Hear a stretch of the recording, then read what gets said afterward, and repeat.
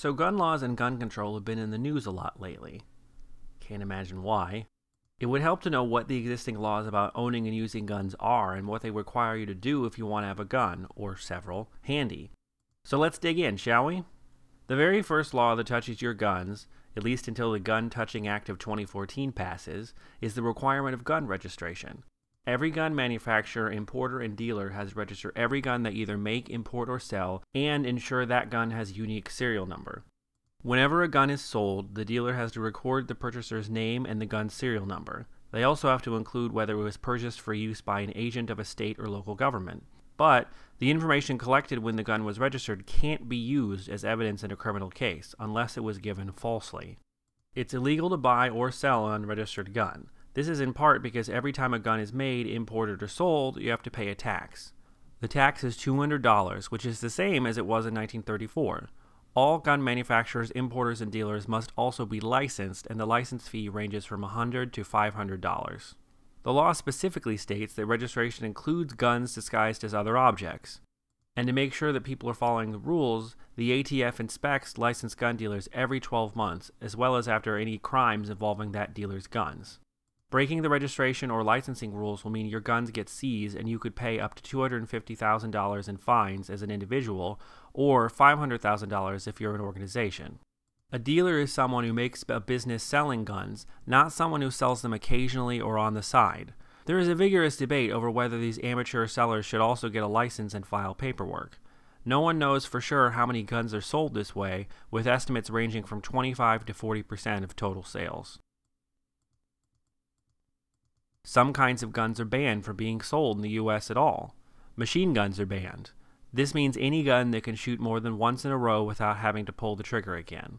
Silencers are also banned, though both can still be made for export. There are no restrictions, though, on antique firearms, which means anything made in 1898 or before if you can't still readily buy ammo for it. There's also the assault weapons ban, which ran from 1994 to 2004 and is being discussed again. It banned 18 types of semi automatic guns, which means a gun that lets you shoot multiple times just by pulling the trigger again, that had specific military features, like a telescoping stock, a pistol grip on rifles, a bayonet mount, a grenade launcher, or a flash suppressor. The assault weapons ban also applied to any ammo clips that let you put more than 10 bullets in a gun at a time. One problem was that it didn't apply to anything made before 1994, so there were a lot of semi automatic weapons still floating around for those 10 years. Another problem was that most types of guns are semi automatic, so the line between what was and what wasn't banned was hard to understand and rather blurry. The other major federal gun law is the Brady Bill, which applies to background checks. While minors, the age is 21 for handguns and 18 for everything else, felons, drug addicts, and anyone legally decided mentally defective have all been barred from owning guns since 1968, there wasn't any good way of enforcing this. The Brady Bill enacted a system of background checks in 1994. First, they were required to be done by law enforcement officers, and then, when that was ruled unconstitutional, an instant online system was instituted, though many law enforcement officers still voluntarily do background checks. It also widens the gun ban to illegal immigrants, dishonorably discharged soldiers, people under restraining orders, people under indictment for a crime where punishment exceeds one year, and people convicted of misdemeanor domestic violence. The background check can take up to three days. Congress also offers grants to states to improve their electronic background check systems. Now, the state level laws vary widely. Some states recognize the permits of other states and some don't. States aren't required to spend their own resources in enforcing federal gun laws, though some do.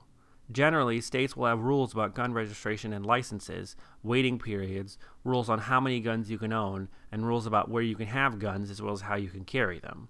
For example, some states limit the number of guns you can buy at any one time, particularly handguns. Some states require you to log a certain number of shooting hours or even to take a test before you get a gun license. Some states ban weapons in certain public places. And some states make it really hard or impossible to either carry a gun with you everywhere you go, called open carry, or to carry a gun around in secret, called concealed carry. Most states are less restrictive than the federal government, but some are much more so. You may have heard about the Heller case that went to the Supreme Court. DC had banned handguns altogether and required a trigger lock on any guns in the house. The Supreme Court struck both of those restrictions down. The really important part was that the court held that the Second Amendment does guarantee an individual right to bear arms. And there you have it.